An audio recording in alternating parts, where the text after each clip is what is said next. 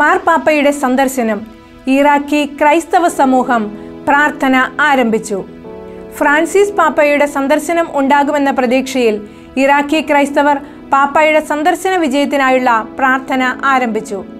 ഇറാഖിലെ കൽദായ സഭാ തലവൻ പാത്രിയർക്കീസ് ലൂയിസ് റാഫേൽ സാക്കോ തയ്യാറാക്കിയ പ്രാർത്ഥനയാണ് ജനുവരി പതിനേഴ് മുതൽ വിശുദ്ധ കുർബാനയ്ക്ക് ശേഷം ദേവാലയങ്ങളിലും വിശ്വാസി കൂട്ടായ്മകളിലും ചൊല്ലുവാൻ ആരംഭിച്ചത്.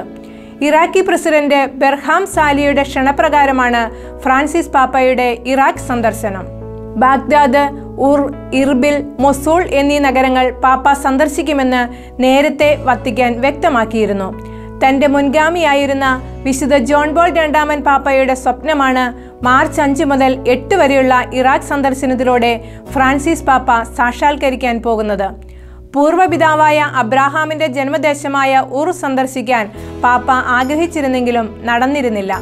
യുദ്ധവും കലാപങ്ങളും കൊണ്ട് ജീവിതം ദുസ്സഹമായ ഇറാഖിലെ ജനത്തോടുള്ള ഫ്രാൻസിസ് പാപ്പയുടെ അജപാലക വാത്സല്യമായാണ് നടക്കാൻ പോകുന്ന സന്ദർശനം വിലയിരുത്തപ്പെടുന്നത്. ഇതിനിടെ ബാഗ്ദാദിലുണ്ടായ ചാവേർ ആക്രമണത്തിൽ മുപ്പതിലധികം പേർ മരിക്കുകയും എഴുപതിലേറെ പേർക്ക് പരിക്കേൽക്കുകയും ചെയ്ത സംഭവത്തിൽ മാർപ്പാപ്പ ദുഃഖവും അനുശോചനവും അറിയിച്ചു. പാപ്പായുടെ സന്ദർശനത്തിനായി ഒരുങ്ങുന്ന വേളയിൽ ദുഃഖകരമായ ഇത്തരം സംഭവങ്ങൾ ആവർത്തിക്കുന്നതിൽ ബാഗ്ദാദ് രൂപത സഹായമെത്രാൻ മോൺസിഞ്ഞോർ ഷ്ലിമോൻ ഔദിഷ് ഉത്കണ്ഠ രേഖപ്പെടുത്തി.